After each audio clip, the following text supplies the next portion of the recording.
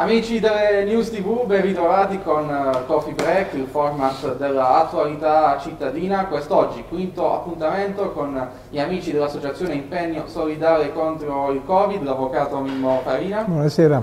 E il dottor Michele Romano. Buonasera. Allora, io partirei subito con uh, l'avvocato Mimmo Farina che ci spiegherà quando, come e perché nasce Impegno Solidale contro il Covid. Sì. Allora, eh, diciamo che ci siamo arrivati gradatamente, nel senso che non c'era una idea precisa di creare l'associazione. Mi spiego. Io ero in casa, come ormai molti sanno, ammalato di Covid, eh, Michele Romano, il dottor Michele Romano mi aveva in cura, passavo, ho passato un mese a casa fra letto divano con il PC in mano e televisione. Era una sera, grosso modo le 11.30, mi arriva sul mio messenger una richiesta, praticamente era una richiesta di aiuto. Una eh, ragazza che io conoscevo, eh, comunque amica virtuale su Facebook, mi scrisse che la sorella aveva il Covid, non stava bene, stava desaturando e lei non sapeva come fare e voleva essere aiutata. Io onestamente eh, faccio l'avvocato, non è che posso dare consigli né potevo dare come dire, suggerimenti sulla cura che io stavo facendo, pensai di dare fastidio a Michele Romano. Gli dissi, risposi al, con un messaggino dicendo dammi dieci minuti, fammi pensare. Chiamai Michele, gli spiegai questa cosa e eh, gli chiesi se potessi dare il suo numero per far telefonare. Lui mi disse di sì, io ricontattai questa ragazza, lei poi si mise in contatto, dopodiché Michele l'ha seguita. Probabilmente questo primo intervento deve essere stato dire, riferito in giro perché le cose cominciarono ad aumentare, nel senso che sul mio messenger cominciavano ad arrivare di continuo delle, delle richieste e io continuavo ovviamente a chiamare Michele, a dare il numero di Michele per eh, cominciare a muoverci. Tieni conto, io ero malato, cioè stavo ancora nella fase della, della, della polmonite. Eh, man mano che stavo meglio aumentavano le risposte, io praticamente ho passato un mese di, di malattia a rispondere a queste richieste. Dopodiché ho pensato che da solo non avrei potuto farcela, perché né io da solo a gestire questa cosa, men che meno Michele a visitare. Per cui cominciai un po' qualche telefonata, eh, qualche post su Facebook per chiedere una mano.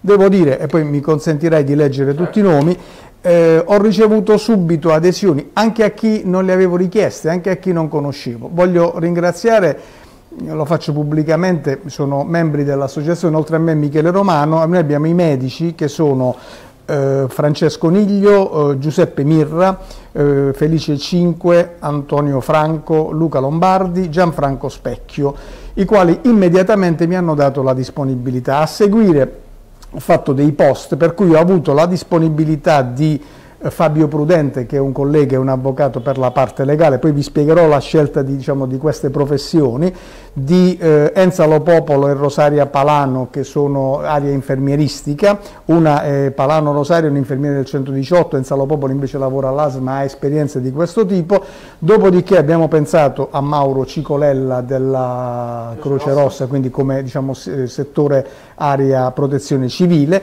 ancora eh, Raffaello Di Biceglia per questioni eh, diciamo, relative al web, al, ai collegamenti. Abbiamo ancora eh, Gianni Romano, il fratello di Michele, che ci ha curato l'aspetto diciamo, tecnico-pratico della cosa e infine Angioletto Angiolino di Sorac che mi ha chiamato per dire a disposizione, anche mettendo a disposizione delle, degli, degli apparati medici.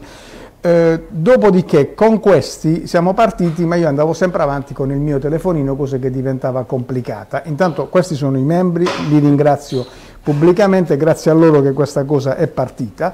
Abbiamo cominciato a ipotizzare, e qua devo fare altri ringraziamenti, ipotizzare o di creare un numero verde, ovviamente a spese nostre perché nessuno ha mai tirato fuori una lira per eh, l'associazione, né mai la tirerà fuori, oppure un sito web eh, ci siamo sentiti con Raffaello Di Biceglie, con eh, Giuseppe Tattoli e Giuseppe Grieco della, che, che, lavora con lui e abbiamo pensato di creare un sito che per brevità si chiama impegnosolidale.net. Quel sito, siccome l'associazione ha, anche queste ve le leggo, diverse aree, cioè l'area attività medica, attività infermieristica, attività di sostegno psicologico, attività legale, attività di protezione civile, il sito, che è accessibile ovviamente a tutti a quell'indirizzo, si divide in queste aree, ciascuna area all'interno ha un form da compilare, per cui per dirla in breve, se io dovessi aver bisogno di un aiuto medico, io vado nell'area medica, clicco, mi viene fuori un form, nel form mi, mi viene richiesto, su suggerimento ovviamente dei medici, nome, cognome, recapito telefonico, eccetera, eccetera, eh, temperatura, saturazione, se ho fatto il tampone, se il tampone è positivo, se indipendentemente dal tampone ho iniziato una cura, qual è la cura, quali sono i sintomi, nel, in tempo veramente reale nel senso che massimo nel giro di un'ora c'è qualcuno che risponde a quella, a quella, chiamata. Dopodiché abbiamo ovviamente per ogni area un referente, per cui se io faccio la mail all'area medica, il referente che è Francesco Niglio o mi risponde direttamente o contatta uno degli altri medici, Nell'arco, io credo, massimo di un'ora, di un'ora e mezza, io sono in contatto con, con, un medico. È capitato qualche volta, l'ha fatto Michele, credo che l'ha fatto Gianfranco Specchio, forse anche Mirra, eh, visite a domicilio, però eh, diventa complicato anche perché poi questa gente che chiede aiuto, viva Dio, un medico oh, di base ce l'ha, mm, non dico dovrebbe averlo, ma ce l'ha, quindi però anche il consulto telefonico di gente che si sente sola è molto importante, perché è importante non solo dare una mano, diciamo, quello posso farlo anche io, non sono né medico né psicologo, ma parlando perché una persona la tiri su, ma se tu parli con un medico che ti chiarisce anche che tipo di terapia fare, quali sono ultime, eh, le, gli ultimi ritrovati, diventa importante anche da un punto di vista mentale, perché chi è malato di Covid, ve lo dico diciamo, senza vergogna in prima persona, con la testa non ci sta molto bene, o meglio, a me non funzionava nulla nel mio corpo, l'unica cosa che funzionava era la testa, il che non era un fatto positivo, perché ti lasciava capire che cosa stava succedendo, quali potessero essere le evoluzioni, quindi era anche peggio, e quello è lo stato psicofisico di chi è ammalato di, di Covid. Eh, le aree si comprendono, l'area medica, l'area infermieristica è capitato qualche volta, è un po' più difficile, ma eh, le due Enza e Rosaria lo stanno facendo, anche di qualche volta di andare a casa per una, una puntura d'urgenza o qualche cosa di simile. Abbiamo con Felice 5 un'area psicologica non ancora eh, come dire, i medici si stanno uh, occupando dell'aspetto psicologico, ma sin dal primo momento si è parlato di un contagio fisico e di un contagio emotivo che è problematico, io dico con tutto il rispetto per gli psichiatri e gli psicologi, non è tanto drammatico come il contagio fisico, ma è comunque problematico, tant'è vero che nel, nel, settore, nell'area psicologica, noi abbiamo anche la possibilità di fare un collegamento Zoom, perché mi diceva eh, Felice che è uno psichiatra, io ho bisogno di guardare la persona, la persona ha bisogno di guardare me. Stessa cosa abbiamo fatto di recente anche con l'area medica, perché ci potrebbe essere qualcuno che ha bisogno, oltre della telefonata, del contatto visivo. Quindi gli infermieri,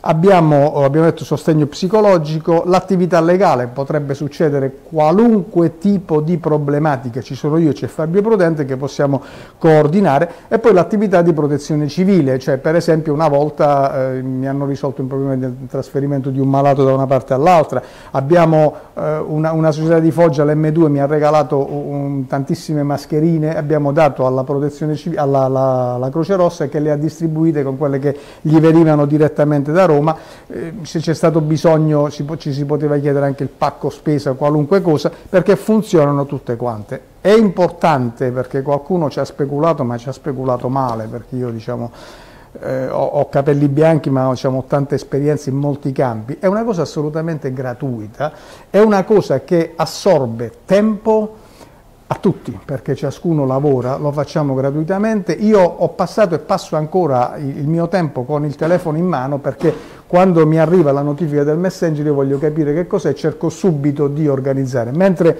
stavate preparando per cominciare è arrivato un messaggio, cercavano un infermiere, io ho dirottato a chi mi ha scritto vai sulla, sul sito che è quello, vai nell'area infermieristica e, e, vedi un pochettino. Io eh, questa cosa diciamo, è nata grazie a loro, eh, ti voglio dire poi chiudo se non vi rubo troppo tempo, eh, per me è stato eh, come posso dire, è stato un piacere farlo, ma è stata una necessità, perché io ho provato la drammaticità, non se ne abbia male nessuno perché non me ne frega niente, la drammaticità dell'abbandono, il senso dell'isolamento, la consapevolezza di chi sta perdendo terreno rendendosi conto, perché ribadisco, la testa era l'unica cosa che funzionava a differenza del resto dell'organismo, e non, sapevo, non avevo neanche la voce, non sapevo neanche con chi parlare, con chi arrabbiarmi, finché poi quel giorno eh, mia moglie chiamò Michele, venne a casa, mi visitò e piano piano, perché diciamo ammalarsi ci arrivi velocemente ad aggravarti lo stesso, ma per guarire io non, non sono ancora guarito, avrò, adesso lunedì vado anche a fare, io scherzosamente dico un controllo all'orologio, al cuore, perché fa le bisse con la, con la frega, perché sono tante le, le problematiche. Quindi io l'ho fatto, come dire, per una eh, necessità mia, ma perché eh, non vorrei, mi piacerebbe se fosse possibile che nessuno eh, si trovasse nelle condizioni in cui mi sono trovato io, che nessuno potesse pensare di essere abbandonato e di finire male. E quindi questa cosa era ed è una cosa positiva e poi mi piace perché chi lo sta facendo, perché poi diciamo la verità, chi sta lavorando di più sono i medici, perché diciamo sì, io coordino, ma poi fatto il sito, fatte le cose, diciamo lo riesco a fare velocemente, tutta gente che eh, sono loro che ringraziano me, è paradossale, io inizio trasmissione ho ringraziato loro, l'ho fatto più di una volta perché io devo ringraziare loro come tutti i cittadini, anche quelli che non hanno bisogno di questa associazione dovrebbero ringraziare queste persone che si stanno muovendo in quel senso, ma sono loro che ringraziano me per aver avuto l'idea di fare questa cosa perché si sentono, come dire, ehm, persone utili alla comunità maggiormente utili perché non chiedono nulla, perché non chiediamo nulla, perché questa cosa non costa nulla. Eh, l'ultima cosa, eh, ho finito davvero, eh, dobbiamo anche muoverci perché l'associazione, anche se Francesco Niglio dice non finirà mai, io eh, anche nello statuto ha un tempo illimitato, però io ho detto nasce col Covid, morirà con, con, il Covid quando non ci sarà più ragione. Francesco dice che continueremo per altre cose, poi lo vedremo. Comunque nasce e muore, quando morirà sarà il momento in cui potremo dire addio alla pandemia e abbiamo già pensato, anche d'intesa con Natale Labbi, il giornalista, di fare alla fine di questa cosa una eh, serata con cui ricordare purtroppo, ma anche di questo c'è bisogno, tutti i morti di Covid a Cerignola faremo una serata, così come eh, io sto, siccome scrivo, sono arrivato a scrivere al, al, mio sesto libro, sto scrivendo, perché mi hanno detto scrivi qualche cosa sull'esperienza, eccetera, eccetera, anche raccogliendo i post, sto scrivendo un libro sulla mia vicenda che posso dire non è solo la mia ma è, è, di tutti quelli che hanno provato la violenza di questa malattia. Sto scrivendo questo libro che si chiama Fate i bravi con, con l'hashtag perché ho utilizzato nei miei post sempre l'hashtag fate i bravi e eh, dopo un post, un, un, commento che aveva fatto Gennaro Balzano, Gennaro mi dice tu scrivi il libro, io lo pubblico gratuitamente, tu non prendi niente, faremo una serata, sperando anche lì di farla senza mascherine tutti insieme, una serata con cui sarà eh, non venduto perché non guadagna nulla nessuno, né io, men che meno Gennaro, il libro è lì chiederemo soltanto un eh, importo, c'è l'importo, il costo del libro, ma si può dare tranquillamente di più anche di meno e sarà tutto destinato in beneficenza. La prima idea di, di Gennaro era quella di dare tutto alla terapia, alle terapie, terapie intensive di Cerignola, ma poi la assodiamo perché diciamo, il Covid sta anche creando nuovi poveri, aggravando la povertà degli altri. tutto in divenire. Ecco, esatto, appunto. vedremo poi diciamo, quello Grazie che... Grazie a questo la tecnologia ci dà una grossa mano, come ho già detto, tra Facebook e sito sta dando veramente una grossa mano. Dottor Romano, lei ha avuto in cura l'avvocato Farina, appunto ci sono delle terapie, delle cure che sono utili appunto a combattere il Covid nei, nei primi giorni, nei, ai primi sintomi. Io la ringrazio e vi ringrazio di questa opportunità che state dando al sottoscritto e all'associazione. L'avvocato Farina ha ringraziato noi eh, dell'associazione per quello che stiamo facendo e quindi ha letto un po' tutti i nomi su un elenco a, a, apposito. Io invece non ho bisogno di quell'elenco perché devo ringraziare una sola persona che è l'avvocato Farino, l'amico Mimmo Farino. Nonostante lui fosse un avvocato, ha dato lezione di solidarietà all'ambiente sanitario e a tutti quelli che ne avevano bisogno. Questo significa che l'intelligenza e la sensibilità non richiedono una laurea specifica, per cui può essere presente in ognuno di noi. Lo um, ringrazio ufficialmente e pubblicamente. Detto questo, io non vorrei rispondere a questa domanda, vorrei tacere, forse se eh, sto zitto è la migliore risposta, perché lei mi sta chiedendo se c'è una cura, io non sono uno scienziato, non sono un clinico, non sono un medico bravo, sono un medico di famiglia. Di famiglia per me questo, eh, questa parola di famiglia ha un senso, ha avuto un senso in questo contesto Covid, perché generalmente eh, noi siamo appellati o come medici generici, che è brutta, è una cosa brutta, medico di famiglia mi sta meglio, mi piace di più. Perché si chiama medico di famiglia? Perché anticamente il medico di quella famiglia diventava, sapeva le malattie, veniva a conoscenza di segreti familiari, per cui veniva appellato come medico di famiglia come se fosse uno di famiglia. Ecco, noi durante il Covid abbiamo trovato di nuovo questa dimensione e l'abbiamo messa a disposizione degli altri, per cui eh, tutto gratis, tutto senza pubblicità, eh, ma veramente con, con, il cuore, perché nella sofferenza ci siamo ritrovati un po' tutti. Avevamo dimenticato che l'uomo è debole, che l'uomo è niente rispetto a, a, quello che ci circonda, al cosmo, e, e invece il Covid ci ha fatto ritrovare purtroppo il prezzo che abbiamo pagato e che stiamo pagando è che molte vite umane le abbiamo perse e molte sono amici, parenti e familiari. Io non me la sento assolutamente di dare un'indicazione agli altri colleghi perché sembrerebbe una cosa assurda. Dico solamente che un po' per incoscienza, un po' per impreparazione, non per, per preparazione, ma per impreparazione, sono stato uno dei primi a usare certi farmaci che gli altri sconsigliavano di dare. Eh, il cortisone hanno criminalizzato, demonizzato il cortisone. Io invece mi sono andato a studiare i vecchi libri e ho scoperto, ho riscoperto che il cortisone dato a dosi diciamo abbondanti per 15 giorni non crea assolutamente nessun problema. Tant'è vero che se io faccio una cura cortisonico per 15 giorni non c'è neanche bisogno di scalarlo.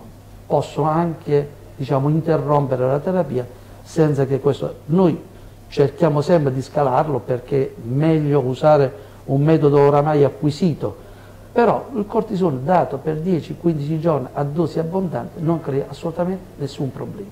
E poi la calceparina, quello che eh, evitava la tempesta diciamo, infiammatoria che avveniva nel nostro, nel nostro corpo e, e, che quindi cercava di prevenire la malattia tromboembolica, che poi non è altro che una coagulazione eh, disseminata a livello, specialmente a livello polmonare e questo poi provocava le polmoniti. Ma sono tutte notizie che io non ho scoperto, ho letto, forse in quel periodo ho letto più di qualche altro collega e l'ho messo in pratica, ma non ho assolutamente scoperto l'acqua calda.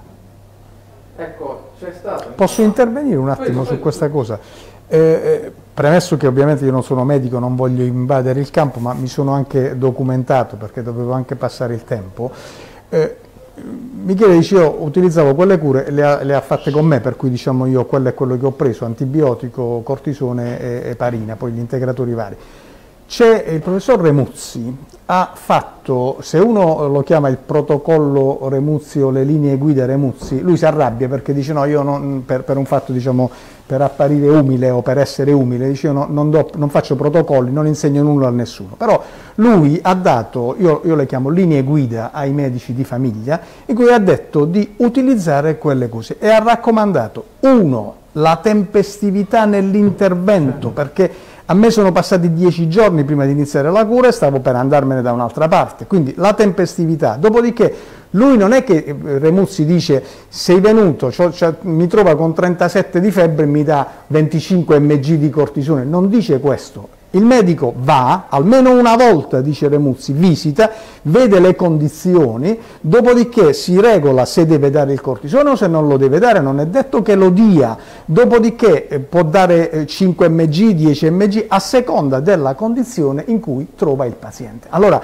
se tu il paziente non lo visiti, anche per questo il form nostro è un po' più completo, come fai a decidere il tipo di cura? La stessa cosa è l'eparina, l'eparina è, diciamo, evita i trombi perché le autopsie della prima fase di Covid hanno detto che molti sono morti per trombosi polmonare, quindi blocca i trombi, ma poi si è scoperto che l'eparina eh, ehm, cerca di riparare anche l'endotelio, che è una sostanza che, che, ravvolge i nostri organi e che è attaccata dal Covid. Io ho fatto anche, eh, eh concordato poi con Michele, un prodotto che è un integratore che ripara l'endotelio. Allora Remuzzi vi dice andate a vederli e vi regolate.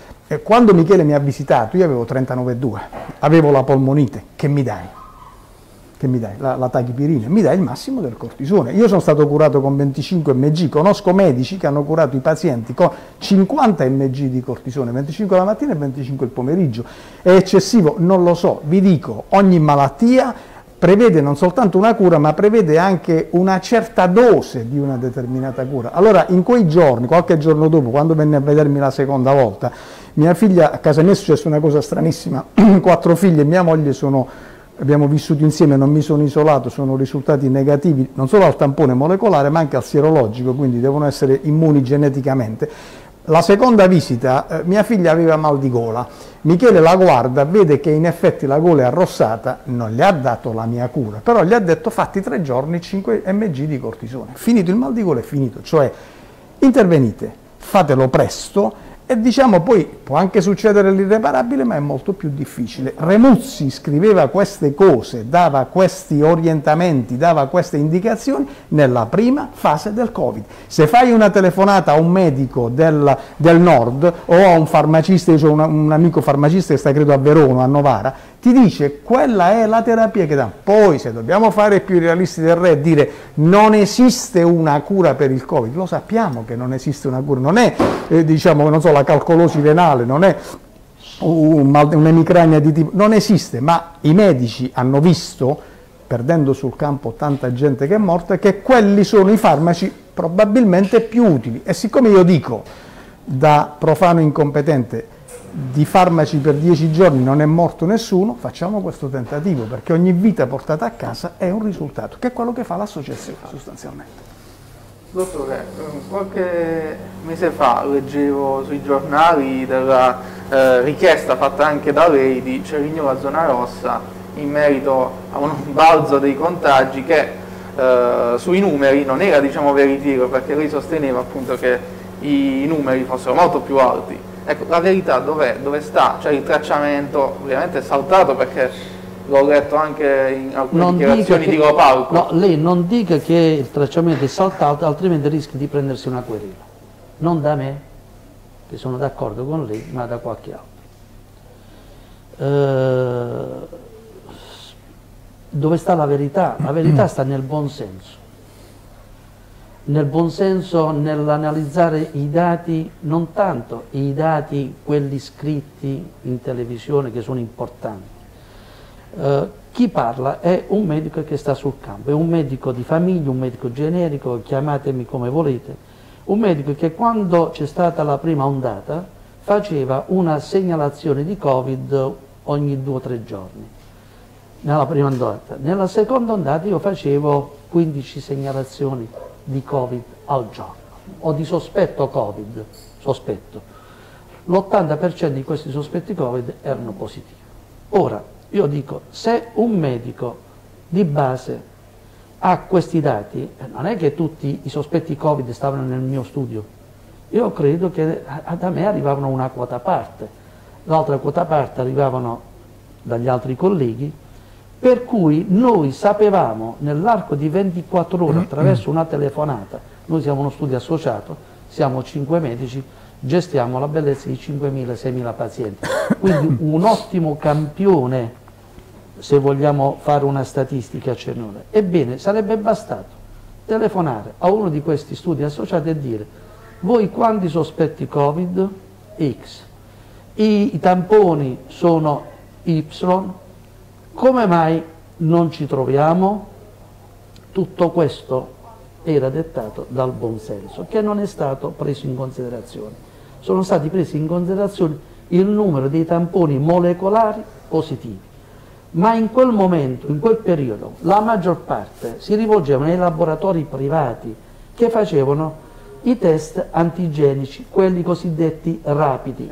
E mi spiego, la differenza tra il rapido e il molecolare, sta nella lettura, mentre l'antigenico rapido lo leggo io attraverso il mio test della mia saponetta, metto le goccine, l'abbiamo fatto anche noi nel nostro studio, quello molecolare c'è uno strumento particolare che lo legge, per cui il materiale prelevato è uguale, ma la lettura avviene uno con l'occhio umano e l'altro invece con uno strumento, per cui quello è più preciso ok? Ma il materiale preso con il cotton fioc, è uguale, è identico.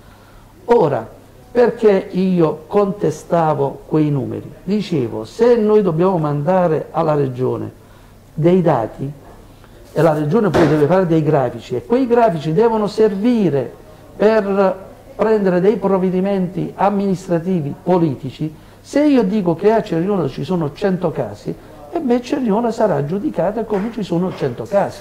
Quindi non puoi organizzare un servizio sanitario sul territorio, non puoi organizzare l'ospedale, non puoi organizzare l'ossigeno, quell'ossigeno che è mancato in un certo periodo, poi qua possiamo aprire un'altra trasmissione sull'ossigeno liquido, la possiamo pure fare.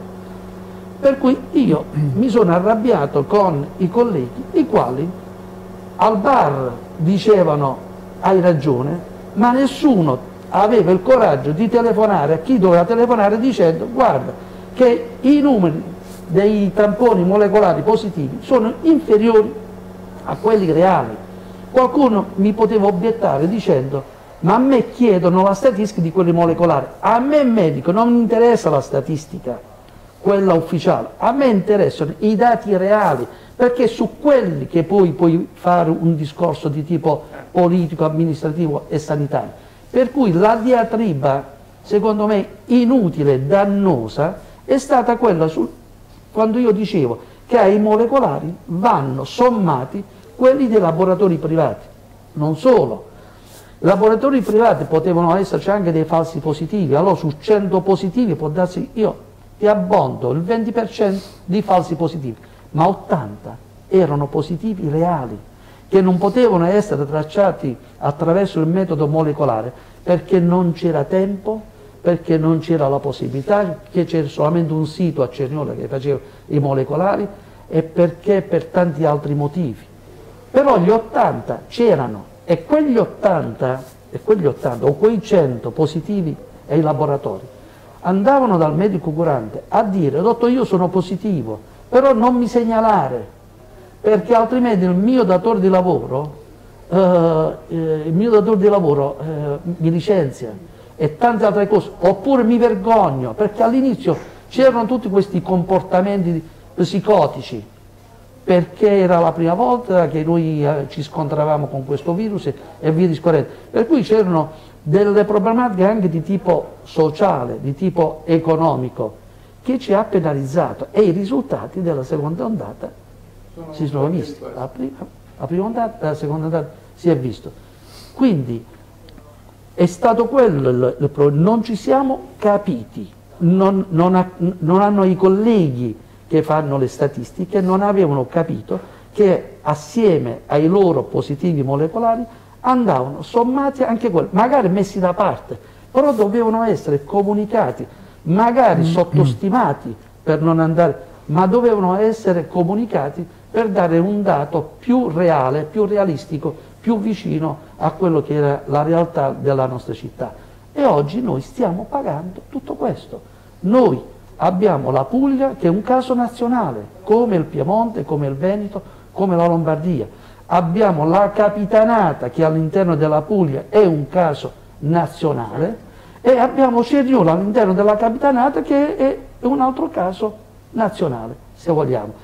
Tutto questo perché non si è avuto il coraggio, Intanto eh, una delle cause è quello che ho detto prima dei, dei vari tamponi. Poi magari, forse, qui siamo immunodepressi a Cernione, non lo so, per cui così come ci sono delle zone dove le persone vivono 110-120 anni, da noi siamo immunodepressi in un fatto genetico eh, endemico locale, oppure eh, quindi, o, o indisciplinati o immunodepressi, o forse c'è una, una terza causa sommata alle altre che è stata una cattiva gestione del fenomeno Covid in capitanata.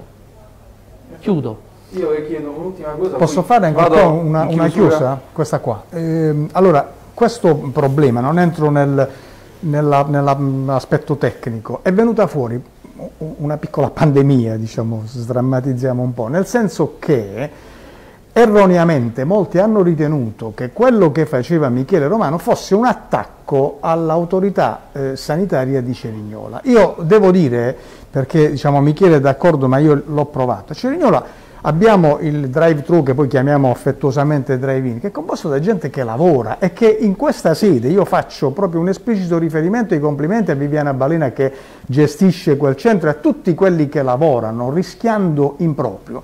Quando Michele ha fatto questo ragionamento si è arrabbiato il direttore generale della ASL pensando erroneamente, perché anche qui bastava il buonsenso di capire, di informarsi, perché è un fatto è, molto semplice Alfonso, prima di parlare uno si deve informare, perché se si parla a cacchio non va bene niente.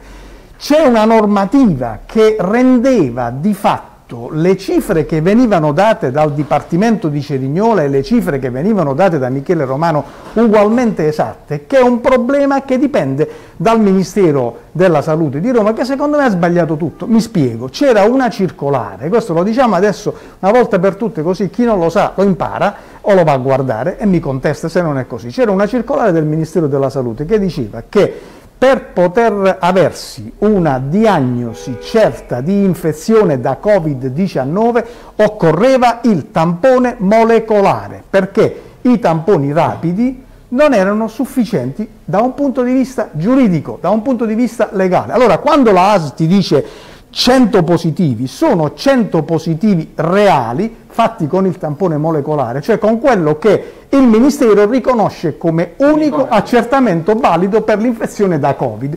Lui sommava quelli dei laboratori privati e diceva 100 ok e non è falso il dato della, della ASL e nessuno contesta la ASL, men che meno il Dipartimento di Viviana Balena perché non c'entrava nulla. Michele ti dice io so, e me l'hanno detto altri medici, giro i laboratori privati, mi dicevano che ogni laboratorio, credo che qui ce ne siano 4 o 5, tirava fuori 20-30 positivi al giorno. Allora se l'ASL diceva 100, ce n'erano altri 100. Vedete come la cosa doveva aggiustarsi e come la polemica è stata ridicola e avrà uno strascico in tribunale inutile che il Ministero 20 giorni fa ha fatto un'altra circolare e ha detto ragazzi cambiamo le carte in mezzo al gioco, servono per la diagnosi di infezione da Covid-19 i molecolari e anche quelli rapidi, per cui oggi i dati che vengono forniti dove li fanno fanno bene a livello regionale, ti dicono, faccio per dire, 200 eh, posit nuovi positivi, di cui 120 molecolari e 80 rapidi. E oggi i numeri sono più reali. Allora, invece di trovare sempre, perché io ho fatto politica tanti anni, faccio l'avvocato da, da, una vita, cioè so, vivo nelle polemiche, ma questa non è una polemica, qua c'è gente che muore, qua c'è gente che soffre, qua c'è gente che, che vedi, lui Michele si, si, fa con le mani, cioè noi siamo in mezzo a una guerra che va fatta in un certo modo. Allora, quando lui diceva questa cosa, invece di dirgli deficiente, imbecille, dice, ma perché dici questa cosa? Bastava mettersi attorno a un tavolo come stiamo adesso e capire, perché se noi stiamo facendo questa cosa lo facciamo per aiutare la gente, al drive-in si ammazzano, io li ho visti lavorare, si ammazzano perché poi vivono e lavorano in un territorio particolare qual è quello, dicendo, sono stati aggrediti. Io ho fatto un post dicendo che durante la prima fase medici e infermieri li chiamavano gli angeli, adesso li menano pure, che è una follia. Quindi anche là andava stemperato. Allora, per cortesia, io capisco che le, le, il direttore generale possa avere un, interesse diverso, Michele possa avere un interesse, cioè uno vuole apparire. Io sono stato accusato, cioè, hai fatto l'associazione perché ti vuoi candidare sindaco. Ho detto prima che non mi voglio candidare sindaco, lo dico adesso. Io ho fatto questa cosa perché c'è gente che ha bisogno e se tanta gente sta aiutando è perché sente il dovere, la necessità di aiutare gente che ha bisogno. Allora non polemizziamo, facciamo, quando facciamo la politica polemizziamo. Io domani discuto una causa in tribunale, polemizzerò, il PM polemizzerà, ma qui non dobbiamo polemizzare. anche perché Dobbiamo... lei ha vissuto in prima persona esatto. proprio il Covid, quindi sa magari cosa, che cosa è stato che un cosa mese succede, dentro. Che cosa senza... passa. E pensare che uno guarisce completamente dal Covid non guarirà mai, nel senso che quando io avrò superato sperando che supererò veramente tutto, perché non ho superato ancora tutto, mi rimarrà una cosa nella testa che non se la porta nessuno. Allora, diamoci una mano.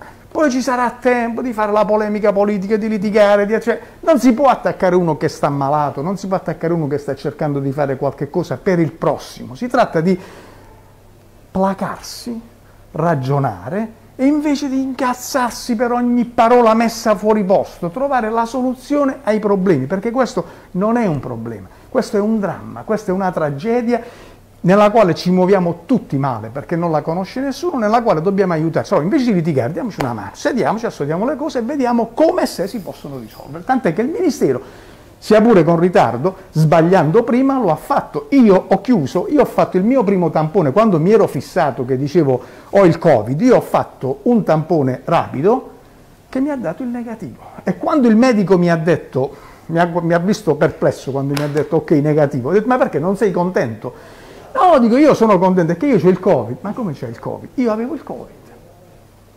E non sono uscito dopo il tampone negativo, non sono andato in tribunale.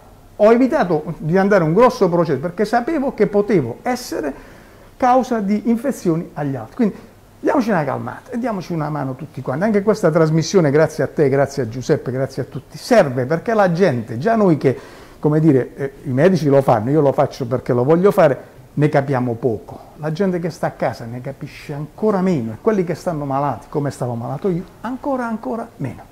Allora io ringrazio l'avvocato Mimmo Farina e il dottor Michele Romano per uh, la presenza qui con noi e magari con una promessa di rincontrarci uh, nel futuro Uh, prossimo per altre uh, nuove puntate con impegno solidale. Speriamo di dare notizia la prossima volta di chiudere l'esperienza di impegno solidale dell'associazione, questo significherà che è morto il Covid. Certo, appunto, sarà una grande notizia per tutti. Speriamo. Agli amici della News TV do appuntamento alla settimana prossima con un'altra uh, puntata di Coffee Break. Buona serata. Buonasera. Buonasera.